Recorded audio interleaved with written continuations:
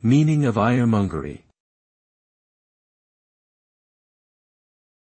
Ironmongery.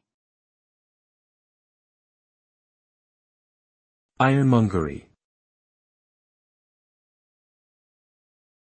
Ironmongery. Ironmongery. The term ironmongery refers to the items made of metal used in building and construction, including hardware such as locks, hinges, screws, bolts, and other fittings.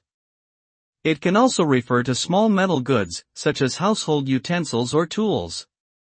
The word originated from the term ironmonger, which was a person who sold or manufactured iron products.